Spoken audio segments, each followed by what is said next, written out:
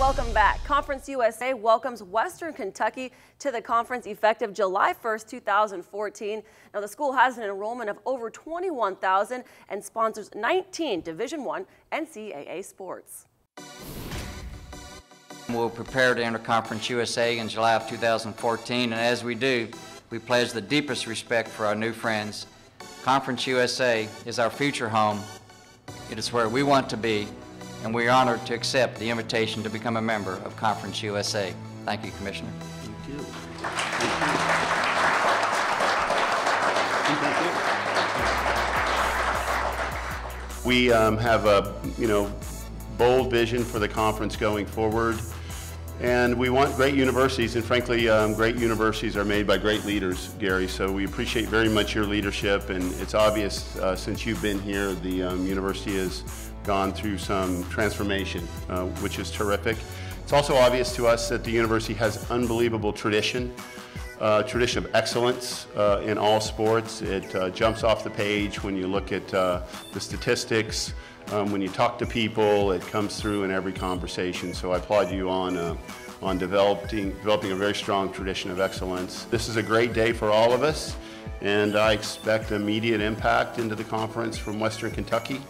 Uh, no question about it, and uh, hopefully it's, a, it's the start of a really great future relationship together. After carefully monitoring and analyzing the collegiate landscape for a significant period of time, it became clear to Dr. Ransdell and I that the many strengths and attributes of Conference USA made this conference the ideal future home for WKU.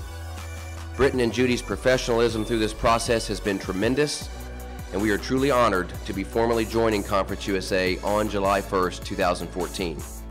This represents a landmark moment for our university and community, and we are extremely excited about the significant opportunities that await to our coaches and our student athletes, many of whom uh, I'm pleased to see are with us today. Keep doing what you do best, and that is excelling on the field and in the classroom.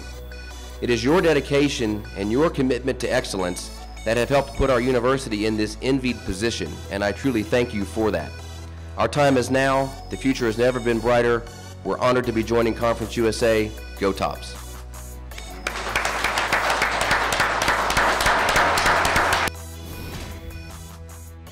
You know, Stacy, look at Western Kentucky's athletic programs, what great success they have had. You have Bobby Petrino as your head football coach, Ray Harper as your basketball coach, and on the ladies' side in basketball, very successful program. You look at Louisiana Tech, Old Dominion, Western Kentucky, they have combined for 16 Final Four appearances.